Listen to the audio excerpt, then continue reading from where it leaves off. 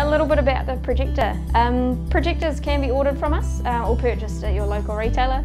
Uh, many customers already have a projector or find great second-hand solutions locally. Generally, any projector will work with BowSim 4D.